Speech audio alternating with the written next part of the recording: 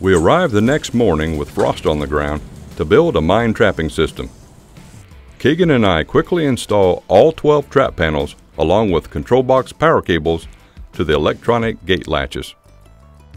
Always test drop gates using the Jager Pro app to ensure the M.I.N.E. live video camera is wirelessly paired to the control box receiver. I lightly bait 3 feet outside the gate threshold due to the high volume of deer feeding each night. I also spread one third of a bucket of corn throughout the spin cast zone to supplement the feeder. A doe feeds outside the right gate and a buck outside the left gate at dusk.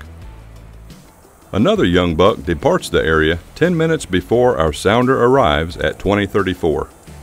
Six different deer did a great job of cleaning up the corn outside the gate, which now forces our sounder to move inside the trap enclosure for tonight's meal.